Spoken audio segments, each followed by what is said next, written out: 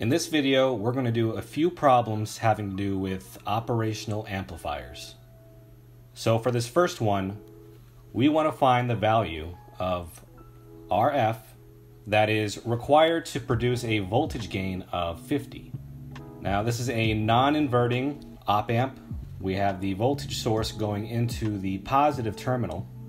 We have a 5k ohm resistor here. Let's find the value of RF. So the formula for gain for this op amp circuit is going to be 1 plus RF over this 5k ohm resistor.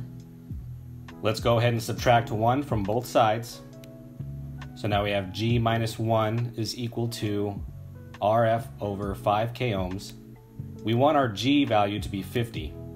So we can write 50 minus 1, that's 49. Now we can multiply 5,000 ohms on both sides. So now we have RF is equal to 49 times 5,000 ohms, and that gives us a value of 245,000 ohms. So D is the correct answer. For this next one, we want to find the output voltage VO. We have everything we need. We have a 6 volt voltage source hooked to a 3 ohm resistor, a 2 volt voltage source hooked up to a 4 ohm resistor, and up here we have a 2 ohm resistor. So let's find our output voltage. Let's first find the value of this current, I sub F. To do that, we're going to need V1 over R1, and we can call this 6 volt source V1 and this 3 ohm resistor R1 and we're going to want to add V2 over R2 to that. And we can call this 2 volt source V2, and we'll call this 4 ohm resistor R2. So now we have 6 volts over 3 ohms plus 2 volts over 4 ohms, and that's going to give us a value of 2.5 amps.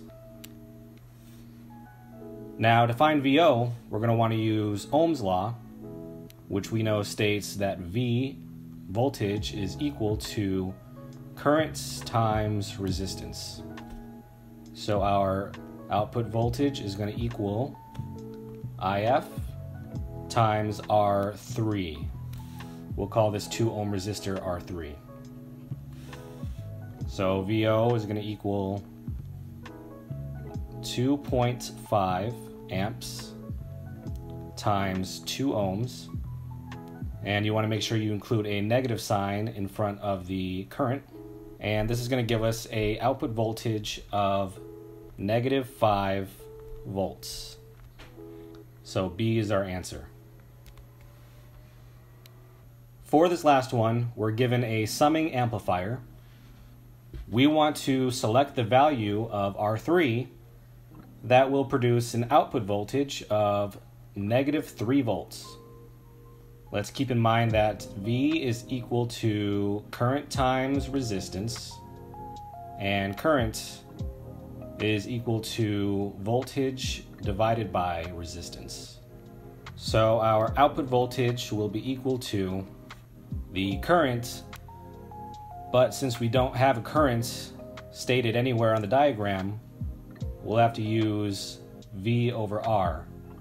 So we're going to use 4 volts over 4,000 ohms. And we want to make sure our current is negative. And we want to multiply that by R3 minus negative 2 volts over 12,000 ohms. And we'll multiply that by R3. We want our output voltage to be negative 3 volts, so we'll rewrite this as negative 3 volts is equal to 4 over 4,000. That's going to give us 1 milliamp. And let's not forget our negative sign.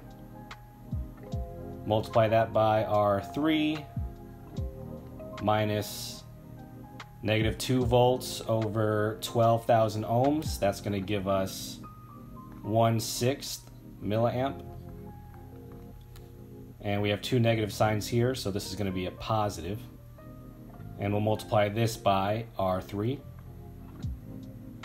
Now we can simplify to negative 3 volts is equal to negative 5 over 6 milliamps times R3.